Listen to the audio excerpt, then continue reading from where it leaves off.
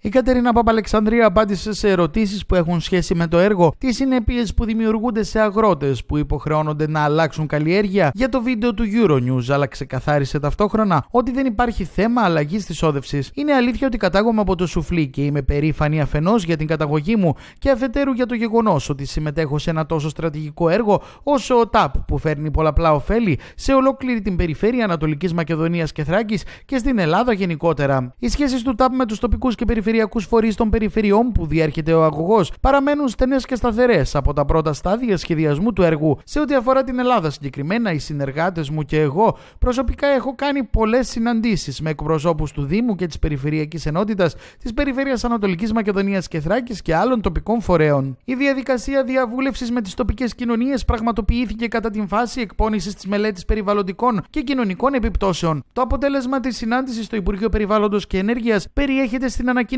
που εξέδωσε το ίδιο το Υπουργείο. Συνοπτικά συζητάμε για την πρόοδο των κατασκευαστικών εργασιών της περιοχής Καβάλας και τις ανησυχίες των τοπικών κοινωνιών σχετικά με τον τυφώνα των τεναγών, την μελλοντική οικιστική επέκταση της περιοχής και τη διαχείριση του νερού. Για την καλύτερη μάλιστα ενημέρωση των κατοίκων για το θέμα αυτό, το Υπουργείο ανήγγειλε τη σύγκληση σύσκεψης που θα πραγματοποιηθεί στην περιοχή υπό την αιγίδα του. Σε αυτήν θα κληθούν να συμμετάσχουν οι ενδιαφερόμενοι φορείς ώστε να ληφθούν αποφάσεις με δεδομένη την κείμενη νομοθεσία, τις αδειοδοτήσεις του έργου και την εγκεκριμένη όδευσή του. Σε ό,τι αφορά τέλος το Δημοτικό Συμβούλιο και τις αποφάσεις του, θα επαναλάβω τη δέσμευση του ΤΑΠ να απαντά σε ερωτήματα και ανησυχίες, αλλά και να εξετάζει το ενδεχόμενο τεχνικών προσαρμογών και να συμβάλλει στην υλοποίηση έργων ουσίας για την περιοχή. Η όδευση του ΤΑΠ έχει εγκριθεί από το Υπουργείο Περιβάλλοντος και Ενέργειας Ελληνικής Δημοκρατίας το Σεπτέμβριο του 2014 και έπειτα από την ιριστικοποίηση της εγκεκριμένης όδευσης από το ελληνικό κράτος, ο ΤΑΠ έχει προχωρήσει στην κατασκευή ώστε να παραδώσει το στρατηγικό αυτό έργο με απόλυτη ασφάλεια εντός του χρονοδιαγράμματος.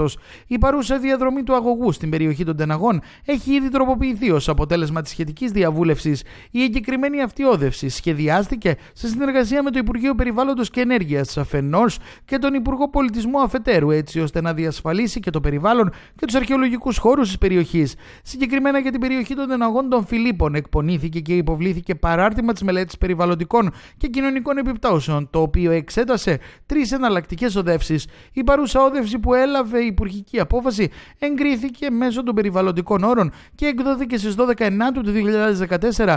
Επιλέχθηκε ως περιβαλλοντική βέλτιστη, διότι είχε τη μικρότερη δυνατή επίδραση στο περιβάλλον και τις τοπικές κοινωνίες.